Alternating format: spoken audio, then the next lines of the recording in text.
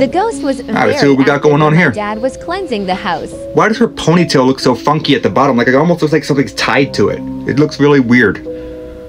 Oh, that's why. Okay, so that's probably attached by a tack or something to the wall, maybe behind the photo, being pulled up, and her acting wasn't that great. Her face, she was laughing. Why is there a hand in that doorway doing this? There's somebody in that doorway I pulling those objects on a string. okay Did anybody this. else see that? Go back and watch that. You'll clearly see that. Look, I'm not watching any more content by this creator. You fake one video, most likely you fake them all.